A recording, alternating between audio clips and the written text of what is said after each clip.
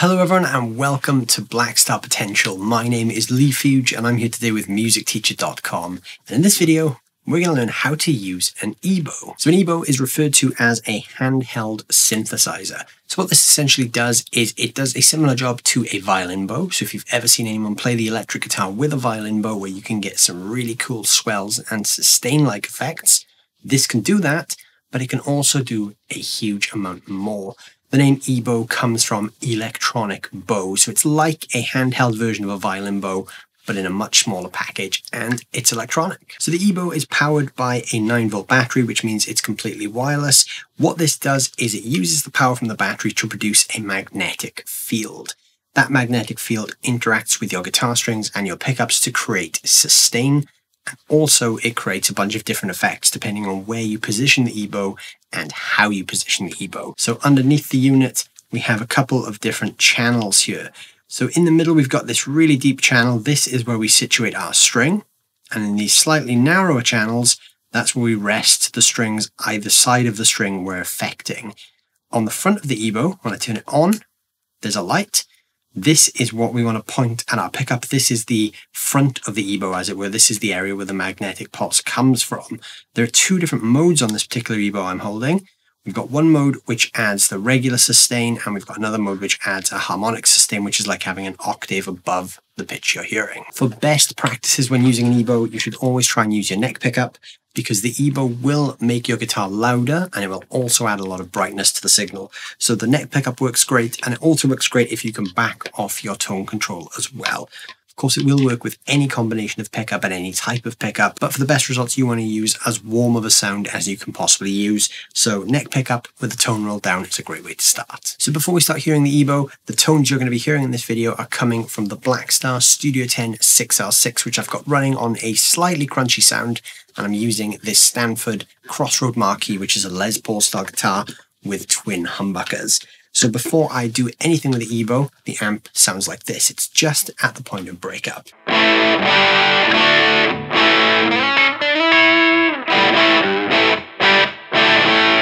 But I'm going to be using the neck pickup.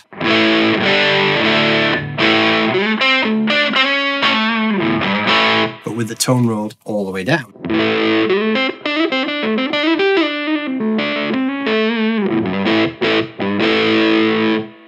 So now we need to know how to hold the EBow. So we're going to hold it with the light end facing the neck pickup. So the curve of the EBow is going to be faced like this, and we're going to hold it flat to the strings. We can adjust the volume by tilting it away from the strings and lifting it up and down as well. But for best results, you want to rest the strings either side of the string you're affecting in the guidelines so that the string in the middle is in that central channel that we talked about. So with EBow on, it actually works even with the guitar not going through the amp. So if I just turn the EBow on and position it here around the neck pickup,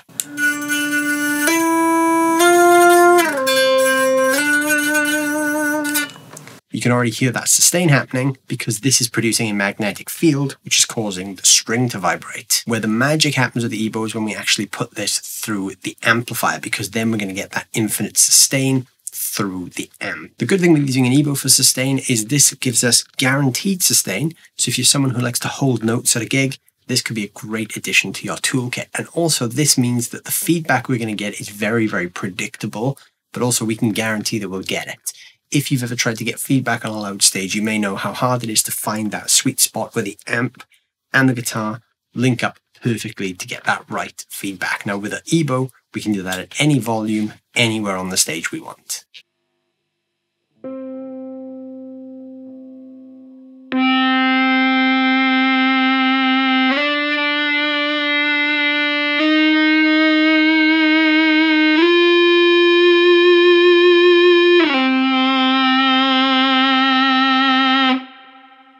So that's how the infinite sustain sounds on the standard mode. Now I'm going to flip it up to the harmonic mode so we get the same thing, but it's like adding an octave up.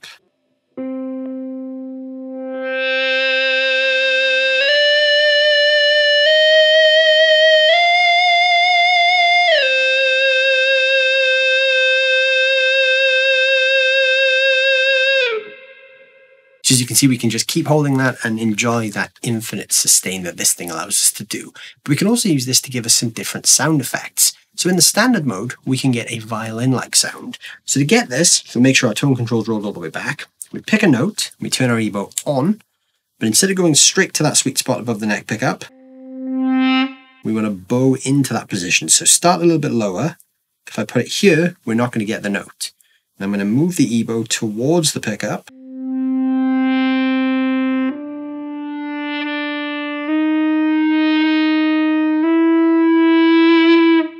See, I'm coming away each time.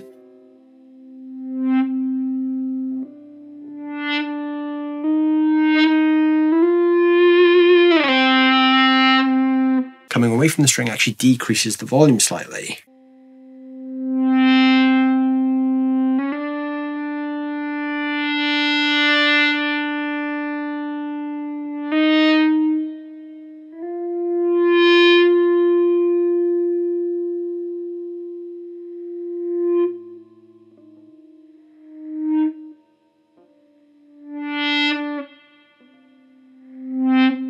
So with that, we can get some almost violin-like sound effects. With the typical pickup arrangement on a guitar, there are two hot spots on the pickup, just either side, and in the middle is a dead spot. So if I go over the entire pickup, you'll notice I get to this point, and we sound the sustaining note. That will drop off slightly as I get towards the middle of the pickup, and then it'll pick up again towards the back.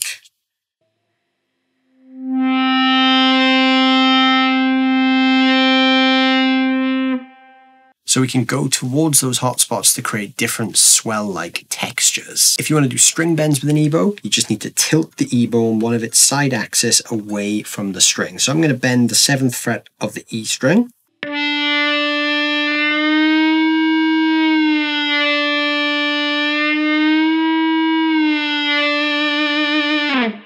Notice I was tilting the EBow away there to allow room for the string to not hit the sides of the magnetic channel in the middle of the EBow. So when we're playing with an EBow, we can apply a bunch of different techniques to create different textures with this. So let's say I want to play something that sounds quite synthy.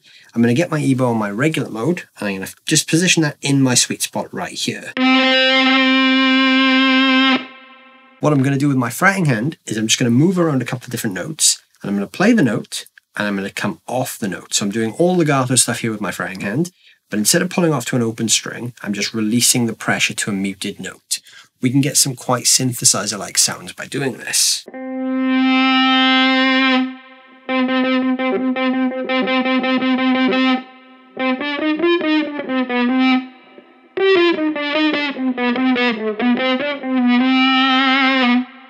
But I can also just do legato. I can slide, hammer on and pull off my way around the string and get that same sound but a lot smoother.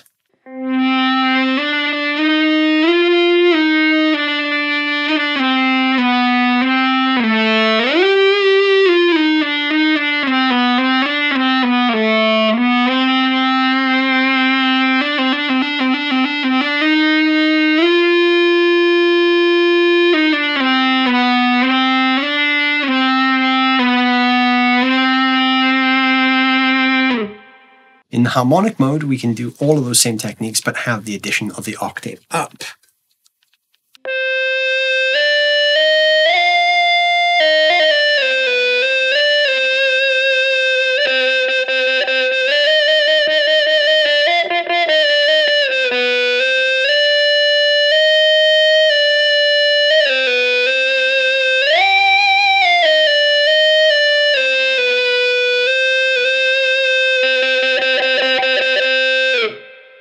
One of my favorite things to do with an EBow is to create a fake tremolo style effect. So you can do this on the harmonic mode or the standard mode. What we're going to do is we're going to pick a note and we're going to find the sweet spot. So I'm just going to start on the fifth fret of the G again. But what I'm going to do is I'm going to move the EBow up and down above that sweet spot. That's going to increase and decrease the volume.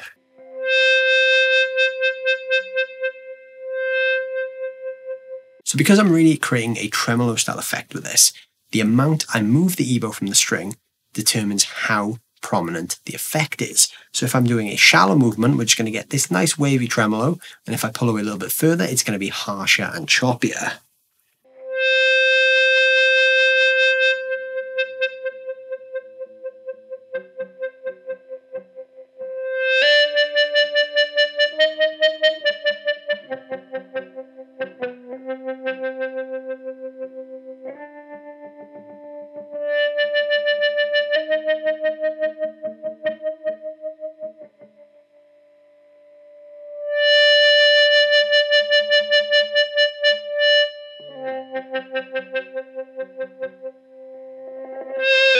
So there you go, there is a quick guide on how to get started with an EBow and how to achieve infinite sustain and some really cool synth-like sounds. An EBow is a great tool for any guitar player to have in their kit. It's not the sort of thing you're going to use on every song, but from time to time, it is really cool to dig into some of the crazy textures and sound effects you can get from one of these things. Let us know down below in the comments if you guys use an EBow in your playing and what your favorite EBow tips and tricks are.